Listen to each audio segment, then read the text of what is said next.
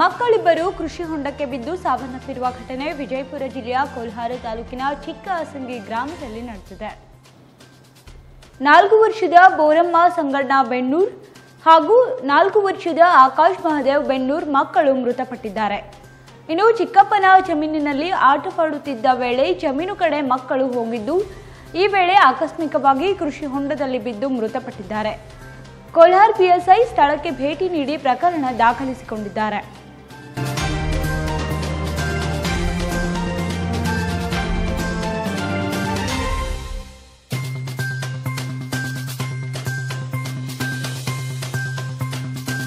ಶ್ರೀ ಸಿಗಂದೂರು ಚೌಡೇಶ್ವರಿ ಜ್ಯೋತಿಷ್ಯಂ, ಪಂಡಿತ್ ಉಮೇಶ್ ರಾವ್ ದೀಕ್ಷಿತ್, ವಂಶ ಪರಂಪರೆ ಜ್ಯೋತಿಷ್ಯರು. ಇವರು ಜನರ ಅಪೇಕ್ಷೆಯ ಮೇರೆಗೆ ವಿಜಯಪುರ ನಗರದಲ್ಲಿ ಖಾಯಮಾಗಿ ನೆಲೆಸಿದ್ದಾರೆ.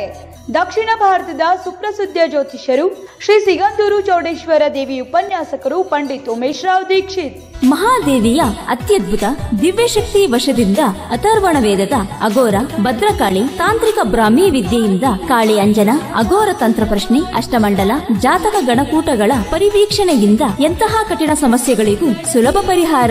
ಕುಟುಂಬದಲ್ಲಿ ಕಷ್ಟ, ಆರೋಗ್ಯ, ವಿದ್ಯೆ, ಉದ್ಯೋಗ, ವ್ಯಾಪಾರ, ಮದುವೆ, ಸಂತಾನ, ಪ್ರೇಮ ವಿಚಾರ, ಗಂಡ ಹೆಂಡತಿ ವಿರಸ, ಡೈವರ್ಸ್ ಪ್ರಾಬ್ಲಮ್, ಕೋರ್ಟ್ ಕೇಸ್ ಶತ್ರುಕಾಟ ಮಾನಸಿಕ ಚಿಂತೆ, ಮನೆಯಲ್ಲಿ ಅಶಾಂತಿ, ಸಾಲಬಾಧೆ ಹಣಕಾಸು, ಜಾಗದ ವಿಚಾರ, ಮಾಟಮಂತ್ರ, ದುಷ್ಟಶಕ್ತಿ ಇನ್ನು ಯಾವುದೇ ಅತಿ ಘೋರ, ಭಯಾನಕ ಸಮಸ್ಯೆಗಳಿಗೂ ಕೇರಳೀಯ ಮಹಾಶಕ್ತಿವಂತೆ ಆದಿದೇವಿ ಭಗವತಿ, ಶ್ರೀ ಭದ್ರಕಾಳಿ ಹಾಗೂ ಶ್ರೀ ಸಿಗಂದೂರು ತಾಯಿಯ ಪೂಜಾ ಕೈಕರ್ಯಗಳಿಂದ ಕೇವಲ ಐದು ದಿನಗಳಲ್ಲಿ ಶೇಕಡ ನೂರಕ್ಕೆ ನೂರರಷ್ಟು ಶಾಶ್ವತ ಪರಿಹಾರ ಶತಸಿದ್ಧ.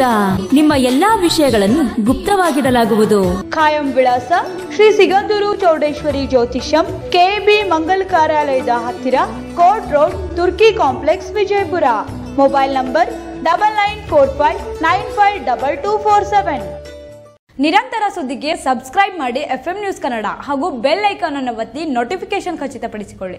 ಧನ್ಯವಾದಗಳು.